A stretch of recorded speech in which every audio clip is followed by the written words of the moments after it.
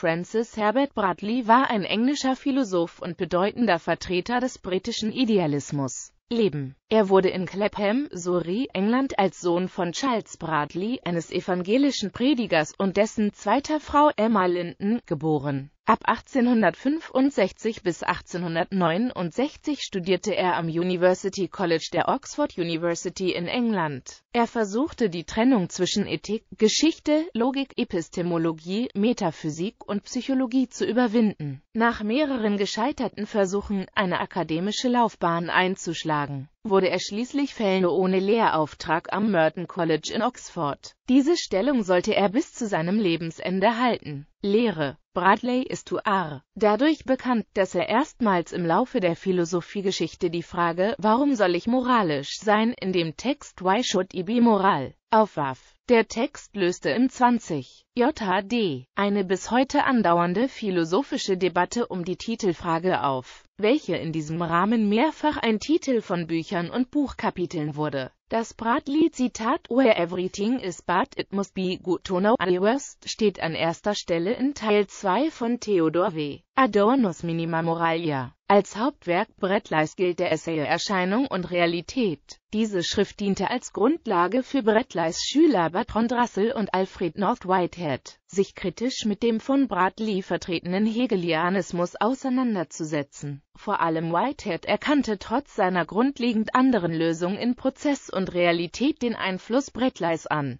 Obwohl ich im tragenden Teil des Werkes im scharfen Widerspruch zu Bradley stehe, ist der Unterschied im Endeffekt dann doch nicht so groß. Sein Insistieren auf dem Empfinden Feelings stimmt genau mit den eigenen Schlussfolgerungen überein. Wenn man glaubt, die hier formulierte Kosmologie sei sinnvoll, fragt man sich natürlich, ob die sie bestimmende Denkweise nicht aus der Übertragung einiger Hauptthesen des absoluten Idealismus auf eine realistische Grundlage entstanden ist. Bradley vertrat eine Theorie der Erfahrung, die auf einem ontologischen Monismus beruht, das heißt, dass alle Reale nur als Einheit erfasst werden kann. Der Zugang zur realen Welt ist unmittelbar und kann nur fühlend erfahren werden. Von Gegenständen, Sachverhalten oder Ereignissen kann man nur sprechen, indem man die im Fühlen erfasste Einheit im Denken trennt. Die grundlegenden Begriffe für das Weltverständnis wie Substanz, Kausalität, Relation oder Quantität beinhalten jeweils zwei kontradiktorisch entgegengesetzte, aber gleich wahre Urteile. Dies führte Bradley zu einem grundlegenden erkenntnistheoretischen Skeptizismus.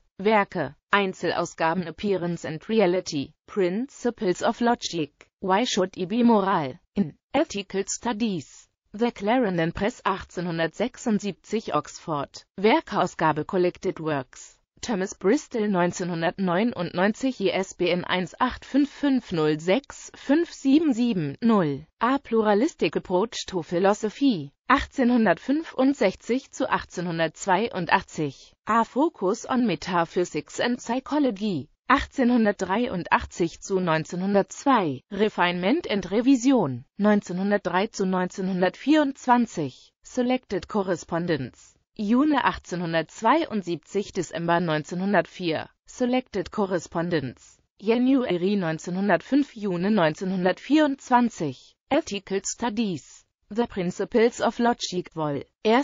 The Principles of Logic Vol. 2. Appearance and Reality. Essays on Truth and Reality. Collected Essays Vol. 1. Collected Essays Vol. 2.